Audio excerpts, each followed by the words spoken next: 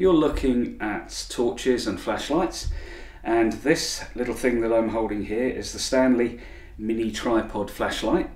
Um, and the first thing I'll do is turn it on to make sure that you can see that. So you can see that's quite bright even in broad daylight. Um, so that's a great little flashlight on its own um, but it does have a couple of features. Uh, the first is a little key ring there which of course you know you can put with your keys so that you can always find the door lock when you come home in the dark.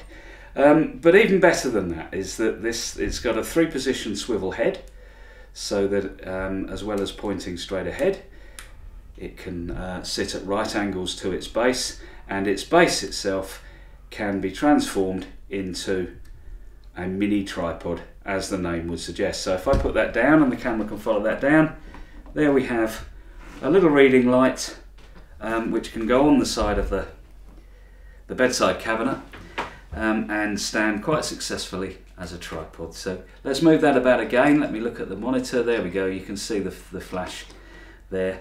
And let's fold that up like that and put it back into its normal position.